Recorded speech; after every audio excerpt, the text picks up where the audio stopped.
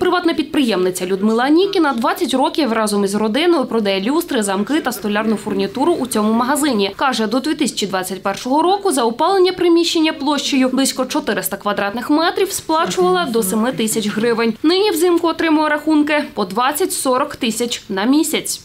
Е, Ми почали е, з міською владою, з концерном тепломережі писати наші заяви, опротестовувати. Я завалила їх своїми зверненнями щодо пояснень, чому такі платіжки приходять. Але в своїх відповідях вони зсилалися повністю на 315 методику, на ці формули і казали, що у них все вірно, тупо платіть і все. Людмила Нікіна каже, відмовилася сплачувати такі нарахування за тепло, адже вважає їх несправедливими та непідйомними. Впродовж двох років у родині підприємниці накопичився борг 400 тисяч гривень. І людей немає. Немає, тому що люстри зараз це зовсім не той продукт, котрий будуть купляти люди.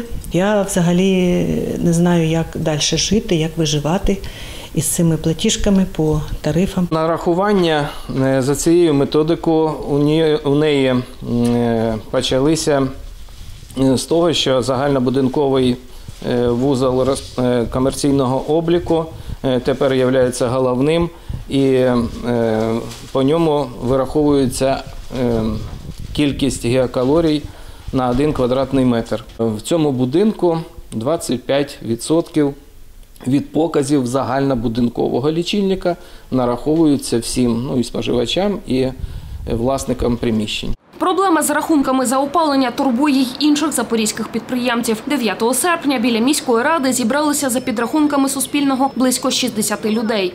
Методика недосконала, і вона в три рази завишає, завишає ці тарифи, які у нас були до, е, до того, як її ввели.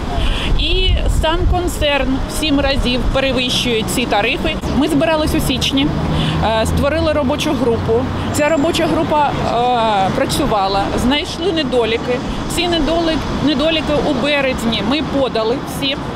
Але е, керівництво міста е, не може заставити концерн МТМ, щоб вони нам перерахували за два роки ці тарифи.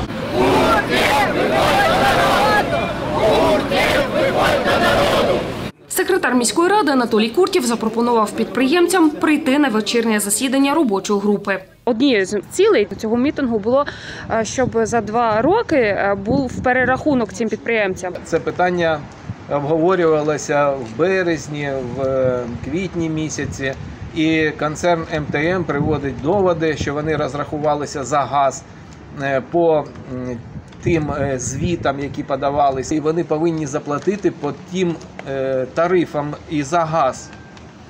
І тому зараз, якщо вони нам перерахують рахунки і зменшать, то їм Нафтогаз не зменшить рахунки.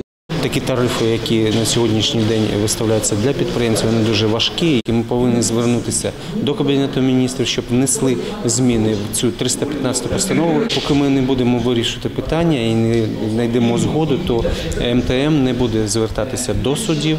Під час засідання робочої групи директор концерну міські тепломережі Сергій Остапенков коментувати ситуацію Суспільному відмовився. Тому журналісти надіслали до установи інформаційний запит. Чекаємо на відповідь у визначений законом термін. Дар'я Пасічник, Євген Андросов, Суспільне новини, Запоріжжя.